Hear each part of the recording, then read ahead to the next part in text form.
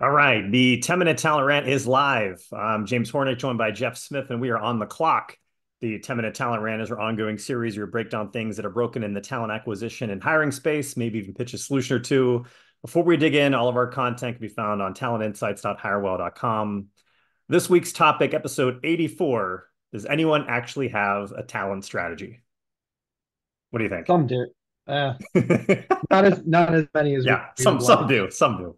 Yeah. The answer is the answer is yes, but some do. But you know, it would yeah. be snarky if we didn't kind of slag the get, whole thing.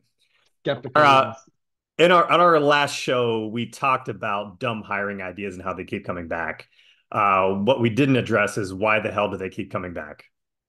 Um, and it's because talent acquisition is in like Groundhog Day. It's we're just doomed to repeat the same mistakes over and over forever um, from lack of strategy. And I'll speed run the last show real quick. We discussed poor feedback, aversion to fees, bad resume reviews, constantly changing requirements, sticking to contingent firms, even though it has not got the job done in the past and frustrates you, but you keep doing it anyway, and it just makes everything worse. So much worse. What do all of these things have in common? Eh, they're all tactical. And I think companies, leaders sometimes confuse strategic with just transactional things. Th- these are executional elements that companies, you know, perform poorly, but then they never actually evaluate all of the symptoms that that made it all happen in the first place. So, like I said, companies confuse these sorts of things all the time, and it's and it's very prevalent in HR and talent, and it, it's why there's so much room for improvement. I, I, I think what we want to do is talk about what actual, what, like, what are the actual strategic strategic things companies can do to change things in the current landscape of 2024. So, James, what you got? So, the first thing is including fractional work in your talent strategy, kind of on two levels. So, in the past, in the past, I'm not making this up. In the past week, I've talked to six fractional execs. That was two CROs, two CMOs, one CEO, one CHRO, who are full up on clients. Um, and it's mutually beneficial for them and the companies they work with compared to full-time execs. Like small to medium-sized companies finally realize that creating their that you know um, their own go-to-market processes or tech processes, people processes, and strategies it doesn't need to be the same person who oversees the day-to-day tactics or execution or what their team does.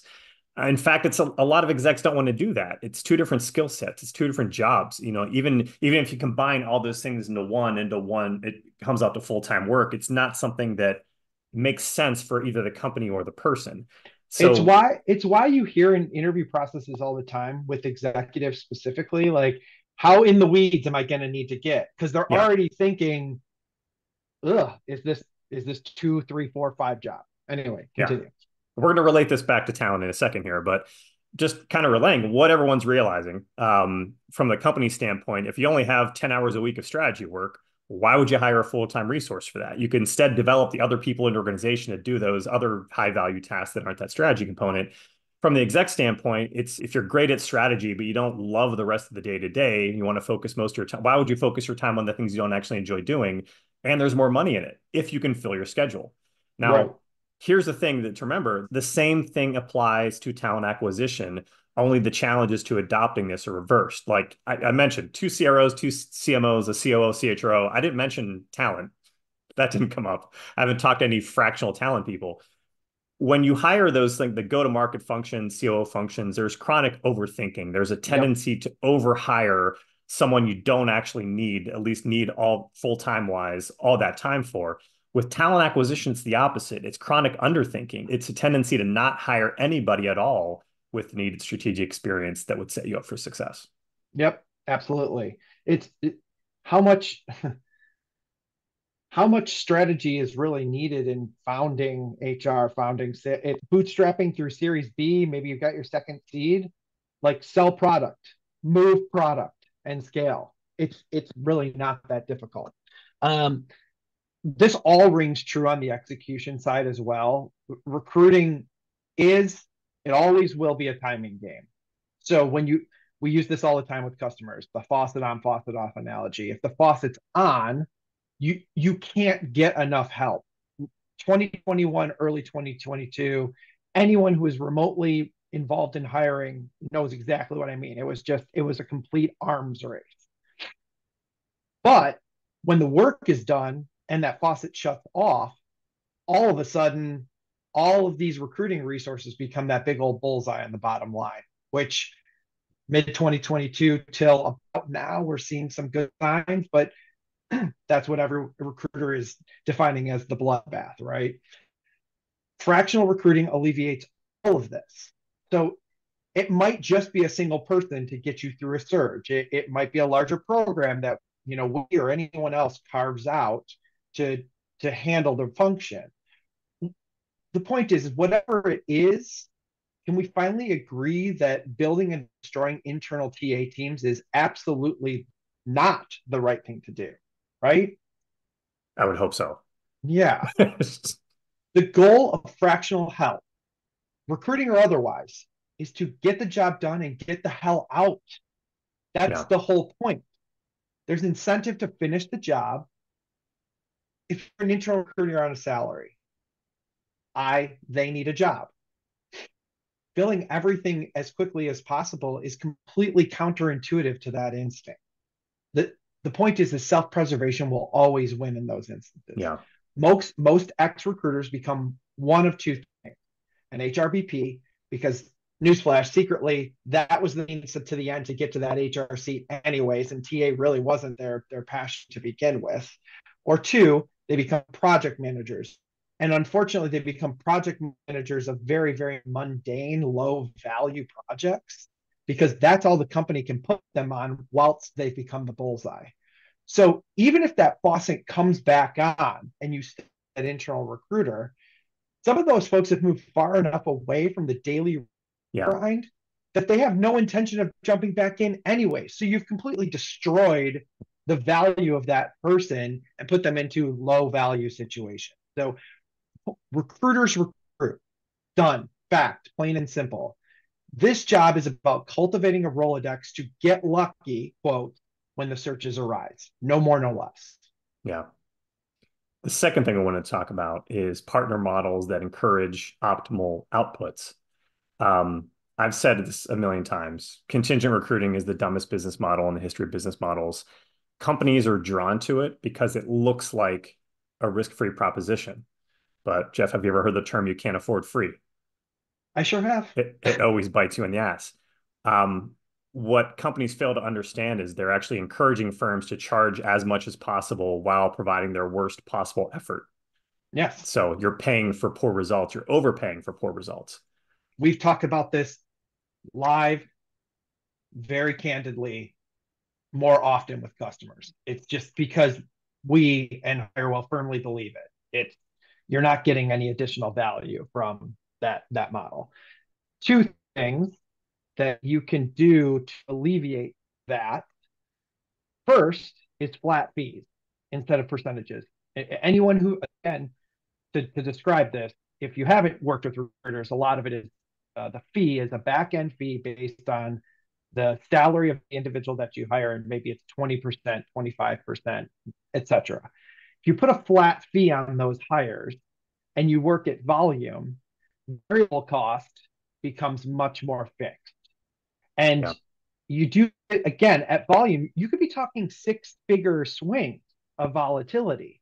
Like it's just, it doesn't make business sense. And and it's kind of why none of this ever happened.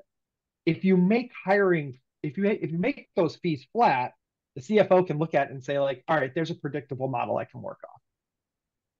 Yes. I've actually I've been in this industry for so long working on things on a percentage basis like it it dawned on me like how like you forget how insane it is. Like how can you how can you do anything at scale when you don't know when with variable costs? Like it's just not a good model it's not a good buying model. Um the second thing is retainers. Now I want to make sure I'm kind of really clear about this. I'm not telling or suggesting that paying a retainer to anyone, like just any random firm you come across, is going to ensure results. But what I am saying is the firms who have intentionally gone this route um, to do um, two things that contingent firms don't. Like if you talk to a firm that's retained, talk to a firm that's containers, there's two things they fundamentally do and believe in that contingent firms don't. First is they view business with their clients as long-term versus transactional. Yep. They're not here just to make one fill. They want all of your business, but they want to earn all your business. That's the entire point of why they're doing all this. Um, they want to make sure that they have the like contingent firms really are just finding candidates and spamming them to as many like places they have loose agreements with and seeing if anything hits. That's not who you want to partner with. You want to partner with somebody who, yes, wants to make a lot of money from you, but they want to do it because they filled a boatload of positions over a long period of time. Um, second, when you do that, you only take business. We're talking about the firms that like work on retained business. They only work on business they know they can fill. Um, they know they're not wasting their time with other clients that aren't serious with sucking hours out of their recruiter's time. They're only working with places they're committed with. They know how to fill the roles, but also they have the time and resources available for. Nothing will sour and ruin a long-term relationship than taking a retainer, not being able to do anything with it, which is why firms that go this route don't do that at least yep. not intentionally. So it's like I said, it's not like it's not just like paying the retainer isn't the fix, but finding the firms that actually have that mentality and that mindset are the ones that can actually get the job done for you on time and on budget, etc. Yeah, all the retainer does is signify that you mean that you mean business, that you're willing to pay for the expertise to poke holes in your own process. That's it. That, that's all we're asking. Um, and it almost always results in a better hire. Um, look, partners, they don't compete against each other. That's the bottom line, unless you're an F1 driver. In, in yeah. that case, yes, you do compete together. But if you do, you just to G, to all the points you just mentioned, you're never going to achieve like the scale of quality that you're looking for. So inefficiencies don't live in a vacuum. Working hours are are are not unlimited wasted effort turns into higher prices and lower quality because you're like, oh, I'm not getting a return on my investment. All hiring organizations hate that, yet they keep going back to the model. So you need to influence your team, your hiring managers, your internal recruiters, and your C suite to row in the same direction if and when you partner with an external recruiting firm.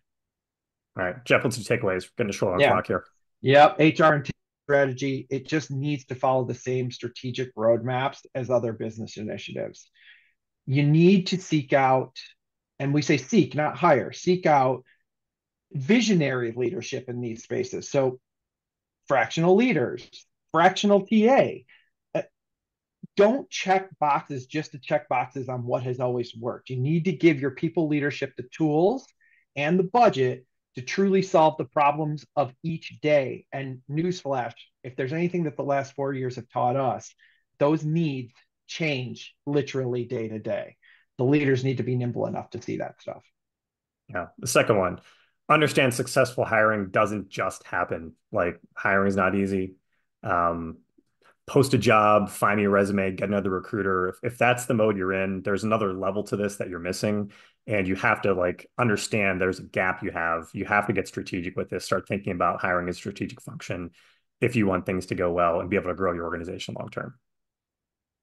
We well, are short on clock. Yeah, thank you. We are short on clock. That's a wrap for this week. Thanks for tuning in the 10 minute talent rant, part of the Talent Insights series, which is always available for replay on talentinsights.hirewell.com, as well as YouTube, Apple Podcasts, Google Podcasts, Spotify, and Amazon.